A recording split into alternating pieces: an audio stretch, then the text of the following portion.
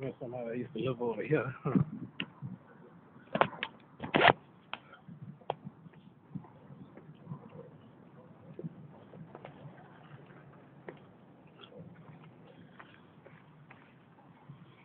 Dangerous around here at night.